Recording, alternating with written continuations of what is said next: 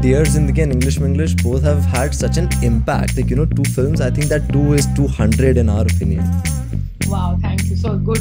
I mean, I, I can use this reason for my lazy. Calm down before you stress up the groove. The energy a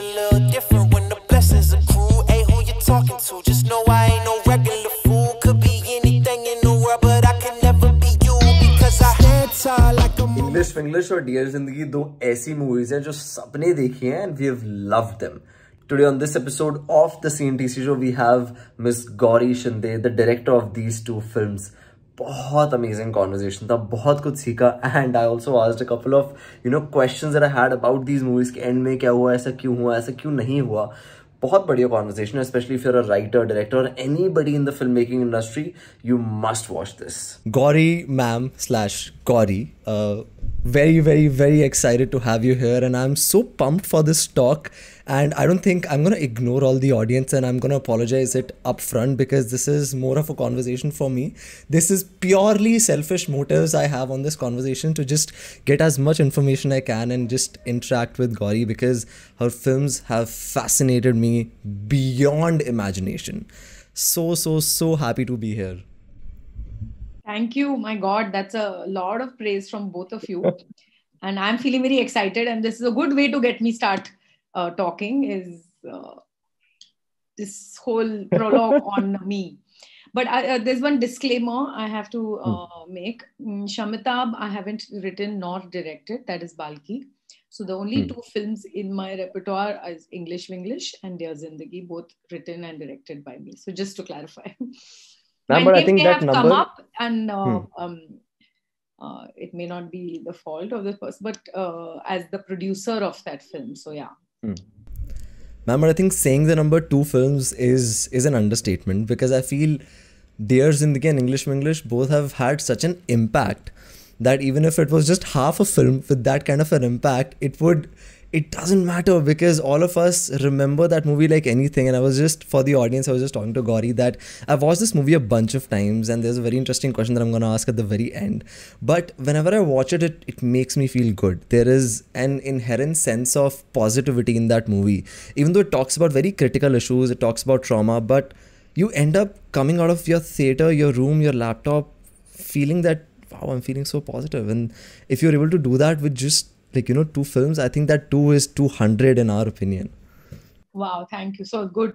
I mean, I, I can use this reason for my lazy. I'm accused of being lazy and not uh, as productive as I should be. So great. I have a good Just to start things off because you started things off on a on a writer and a director note. I want to ask that both these films you have written and directed yourself. Is it something that you want to do like moving forward as well to write and direct both yourself, or do you also look at individual things when you are probably taking up on a project? Oh, see, I've essentially been from advertising and uh, I've done like over a hundred TV commercials. And uh, you know how it works. The script comes from the agency, so you're not writing it yourself. You're, of course, you're ideating, you're changing the, mm, you know, sort of the graph of it uh, while shooting it, etc. But the need to voice or your own thoughts, your own stories is so important. We realize, especially after you're directing scripts of other people. So that is one. Secondly, um, I just wanted to tell stories which I desperately wanted to tell. So, I mean, who else but only I can voice it, and I can that can be uh, the truest form of my expression. So that is the reason uh, I have liked writing what I want to, and it's just not just about making films for me. It's about expressing something that's really dear to me, that needs to be said. I mean, for me, and then I'm hoping that other people need to watch it. So it's that need. Unless some material comes my way which I relate to, and at that point it's matching with my existential issues and angst, then perhaps, or even a book. But uh, yeah, I, I would like to. I mean, I'm not saying that's uh, the only. I mean, it's I'm rigid about that, but yeah, I'd like to write my own stuff. You're saying that when something happens in your life or there's a story that you desperately want to tell, it just comes in more cohesively. And I've seen, uh, I've talked to many directors, and one thing which they always tell me is that as a director, if there's one thing which is really important, it's to be highly observant because stories come from things that we see around us. But one thing which troubles me is that when you're so critically observant, does it become difficult to then turn off? Like, like your mind's always running. You're observing this person, that person, that scenario, this scenario, or is it like a okay, I'm gonna observe for six hours and, and not for the next six? No, I don't think it's such a conscious thing at all. Um, it's not. I mean, it's it's something that just you just you're just living life the way you have to and uh, i mean how how you need to. And it's only when you have thought of an idea and you sit down to write do all these observations which are which are living in your subconscious may come up and you could use. But i'm not going around like a spy you know watching people. I don't think i'd make people very comfortable if i'm that person. And uh, i could have a parallel spy profession also if that's how it works. But no that's not and switch off. No there's no i mean it's so part of you. Like i would like to switch off from life and not from film.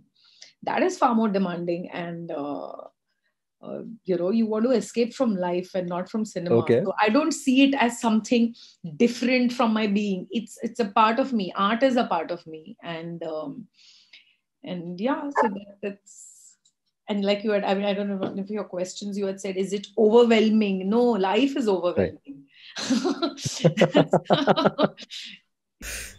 right probably then movies become a way to escape this this feeling of feeling overwhelmed even watching it things. yeah like we all know we escape from life i mean we go to cinemas to escape from our daily lives or whatever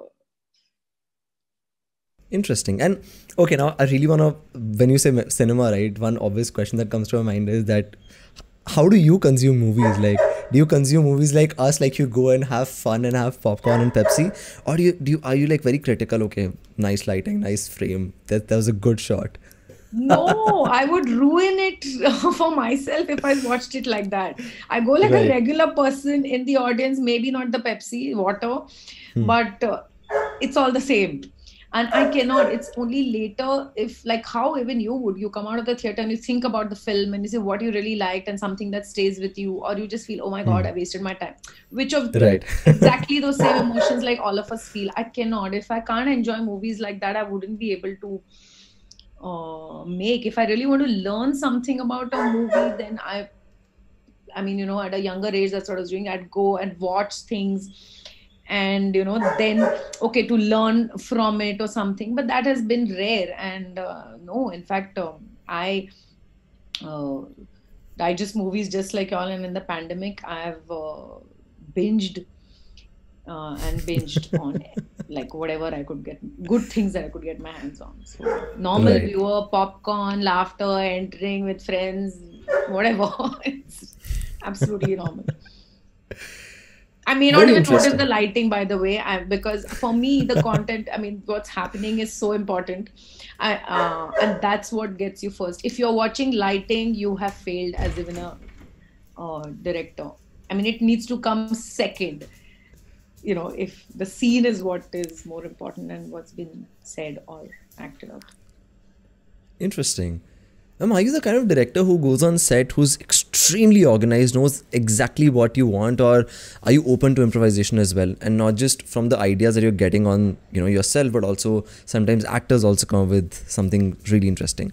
So, what's your what does your process look like generally? On a shoot, right? No, no. Of course, I'm supremely organized in terms of production. Okay, and organized also because I have a bound script which actually most of us do now in 2021. Uh, so uh, that part. So I get the production okay. part of it and everything else. I, it needs to be touched. Of course, there's always still hmm. lack. I mean, sort of room for improvisation in that sense. But whereas right. the script and the scene is concerned, and which is why everything else needs to be so titch and organized, and I'm really uh, anal about it, is so that you can do what you can while the scene's happening and there's room for improvisation and there's room for magic and things to just happen sometimes spontaneously by some you know that, that could be like i don't know a stool in the way of, of the set and you could use it and something you've not thought of it before. I'm giving a very random example. But and of course i'm very open uh, to input and my um, actors have uh, we collaborate we work as a team. So yes the script is in place and uh, luckily i've worked with like three stars uh, only because it's two films and uh, they have not wanted to change the script or anything. But there is stuff where we will like sort of alter some dialogue or th- there'll be some fun thing that'll be introduced. There'll be those little quirks which are so special about these three actors as well because Right. they're such i mean they've been such prolific uh, actors. So there's a lot of experience and a lot to learn from also so um, yeah of course so that's that's your answer Interesting. And because I, I used to hear that पहले क्या होता था आज से तीस तीस चालीस साल पहले सेट पे ही डायलॉग लिख रहे हैं लोग सेट पे there's a writer who's probably improvising like half the film is that true or is it just hearsay Ben, I mean, I would die just at the thought of this. Like, it would scare the shit out of me. I mean, if I had to go on set and not know what I'm going to do, you know, Right. like I can change the key in cars and some turn the line around and those kind of immediate things, and maybe Right. you know the dialogue is not really rolling uh, for someone to say it, and then perhaps Right. those and some improvised jokes like in english vinglish in the classroom like you know there'd be some things which would be really spontaneous and you know responses that kind of stuff but to write no it's, it's it scares i mean scares me the thought of that itself you have a pencil in your hand do you like to you always do is it like do you have do you have like a scribbling habit or do you write with a pencil i do write with a pencil and i have a scribbling habit there'll be like these flowers on my, Okay. paper on my right side or elephant so i don't know Same. I, I draw cars for some reason. But in in today's day and age, do you do you write on a laptop or is it still like writing on a paper and then turning it into like a script digitally? No, it's it's on a laptop. It's um, I may write some pointers in pencil and pen because I love stationery and pens, uh, ink pens, pens, pencils, and papers, as you can see. So, uh, but no, essentially on a laptop. But if I'm somewhere and I don't have my laptop and I'll write it down, of course, in my phone or, but if at my table, I, I like to jot things down. The faster is. I nice. So I mean, I think scribbling is just part of every creative's life, right? There's just so much going on at at your head in your head that you really want to get the thoughts out. I really want to point like you know pivot the conversation to Dear Zindagi because I'm just like really excited. What motivated the film? Like, what was that first core thought? See, shuru kahan se is not one point. I mean, yeah, like I was saying Okay. earlier, that it's one or two things that you then you kind of put together. One was, of course, like I am always been very interested in um, younger people's point of view, and um, as young people, and I mean like really young, like you know, like under 15, 18, and like somehow my heart always goes because I was also that person at one point, and uh, to be understood by adults, and it, it's such Right. a gnawing need in me that I'm always on the side of the younger. Somehow I just want to first see if they right, they're okay, they're you know uh, respected, blah blah blah. Right. So that's one need that I really wanted to um, express, and the struggles that one goes through as a young person because I have, I mean all of us have, and um, and uh, i have i mean you know i have experimented with i used to experiment not anymore now i have a proper therapist with therapy uh, for for a lot of years. And um, it it helped. It was a you know it's something that i have thought about. I have experienced experimented all of that and my need to also find the right therapist which is really important and really necessary and actually very tough to find.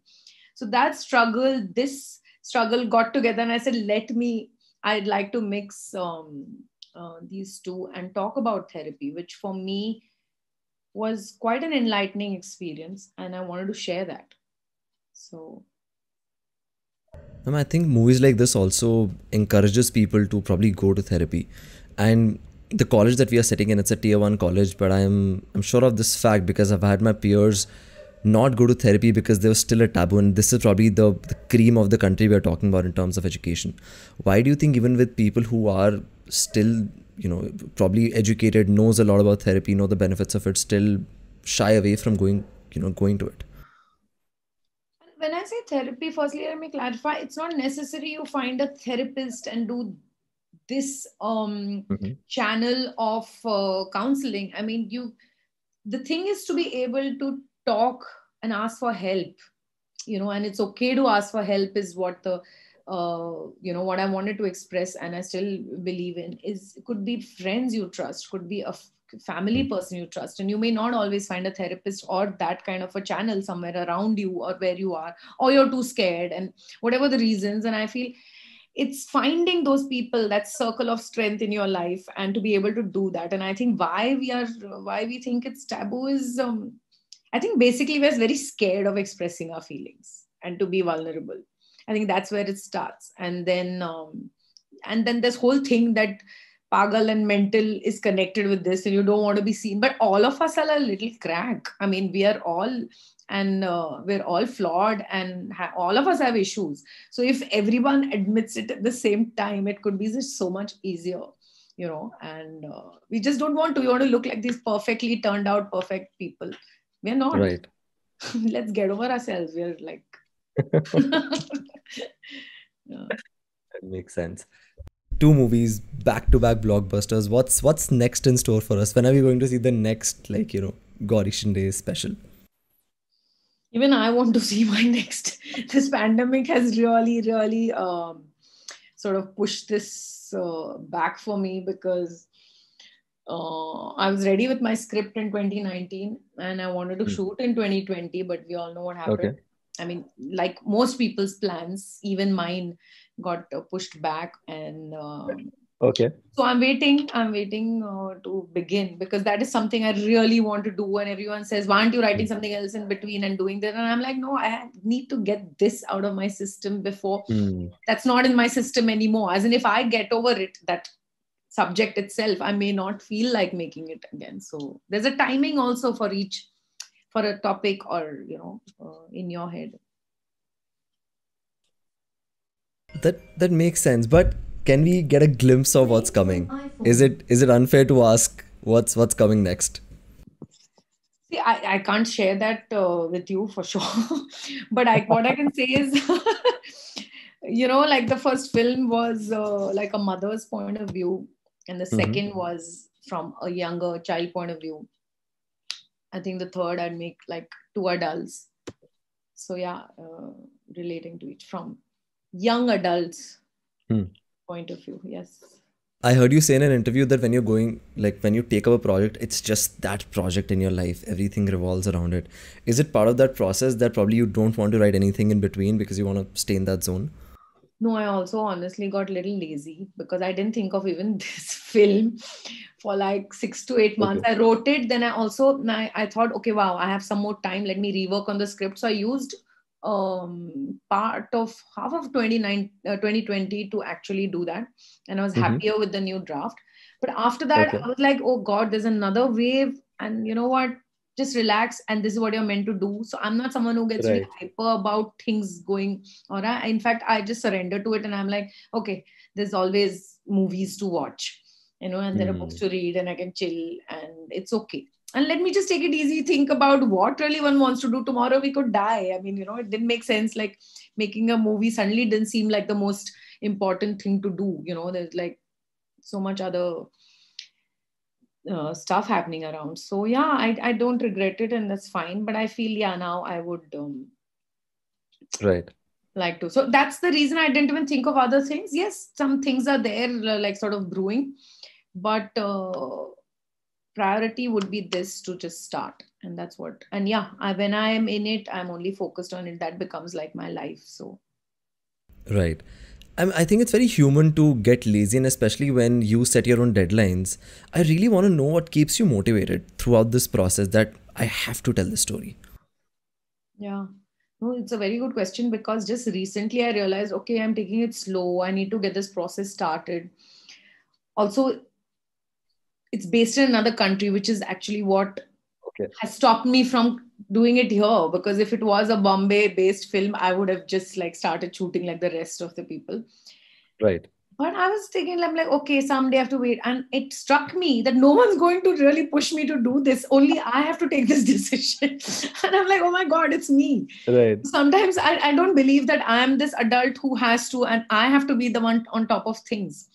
Mm-hmm. So, which is it's a good question you asked. Like, it's only recently that to tell myself, no one's going to take the lead. You have to take the lead. So yeah i've got back into uh, speeding that process up and seeing how it can you know uh, right. off take off. 2020 transformative year and when you said that you got to work on your draft again and you liked the second one it really intrigues me ki when do you know that the idea is like, good to go? When do you know that okay now now i'm gonna make the movie and no more changes like this final final final draft yeah, there are many finals in my drafts. In fact, this is not my second draft. This would be like the fifth, fourth, fifth, whatever, with some okay. changes, not like. Yeah. Uh, but uh, you know at some point that you're good to go because the changes mm-hmm. can still keep happening because there'll be some i mean they'll happen even till the last minute even when everything is ready and you'll feel no yeah the scene i can uh, change it into this or mm. shift it here or shift all that will happen but at some point you you know i mean you know and when you've done a few narrations to um, people who you trust and around you and got it critiqued and uh, and then you realize oh my god there are these loopholes. You read it to yourself after a few months and that's what's helped in this pandemic actually because right. there's been that gap. And in fact just recently just two months ago or something i read it with a gap of six months and i myself then found something and i said but now if you ask me i'm good to go. Like i don't know this is it. And whatever okay. now comes comes. Unless it's someone wants to stand up, up next and say hmm. isme then i'll think about it but yeah. Is it is it a gut based decision that now i know it's it's good to go? Hmm. and you also said that people point out okay probably change this change that. I if i'm not wrong your first feedback loop is in your home right? Your partner is also a filmmaker or producer.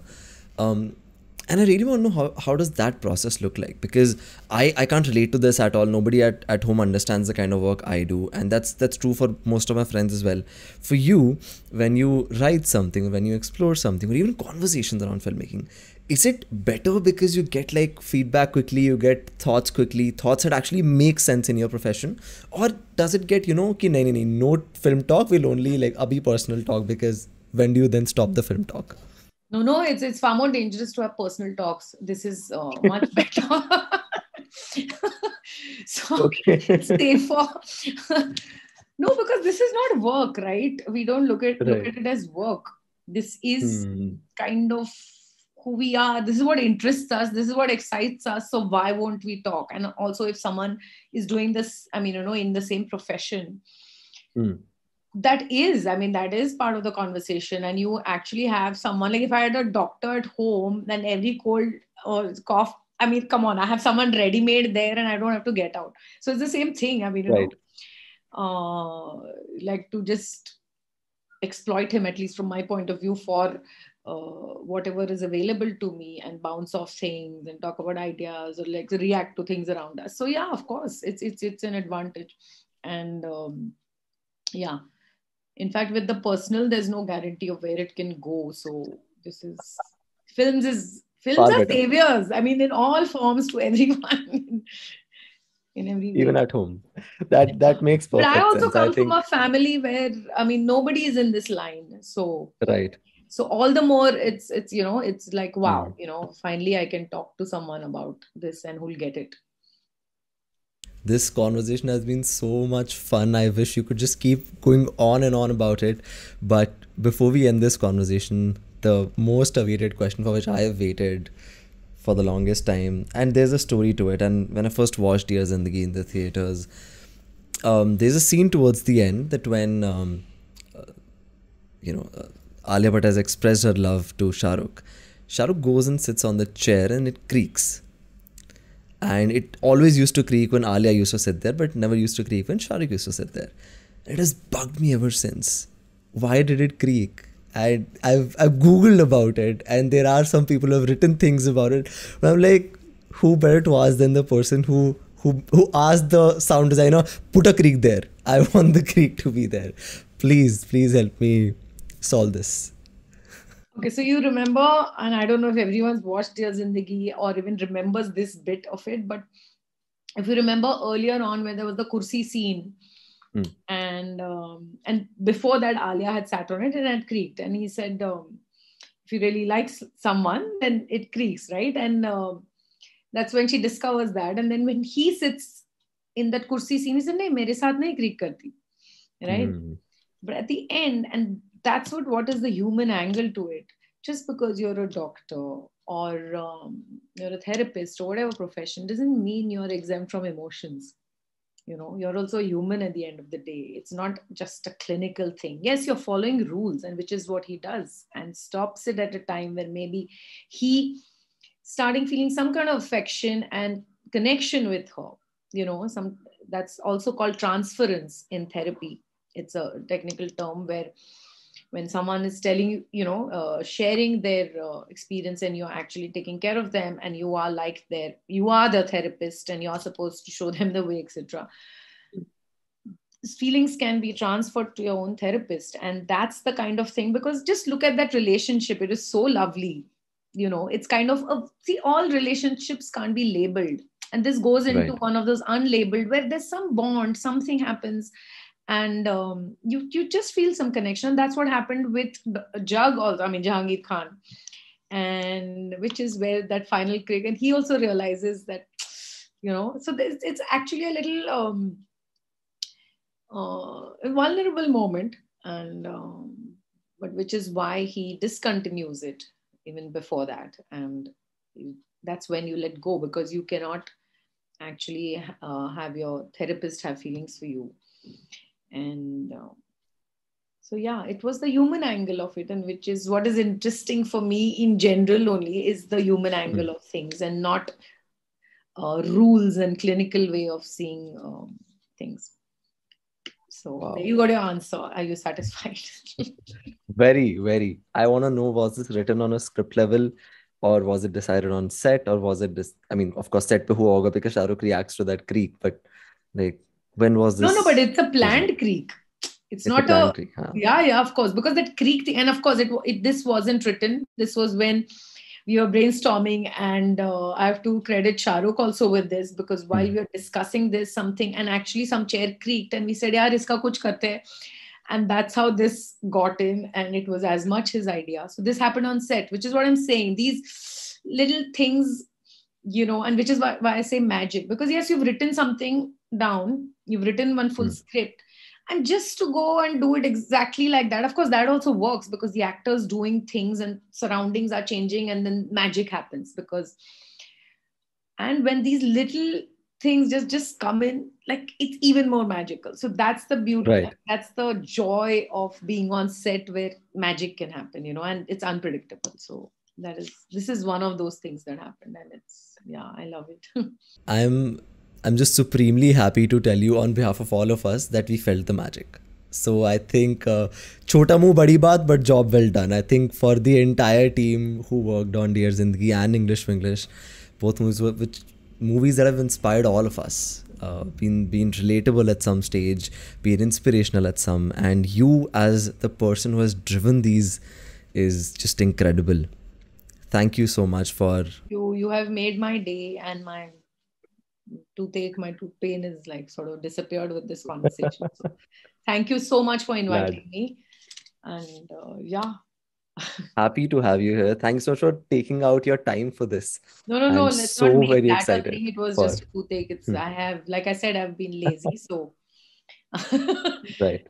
It's not about uh, taking time out. It's just doing things that draw me and i might love to do. If i don't want to i generally don't but i don't know why. I just felt like saying yes to this.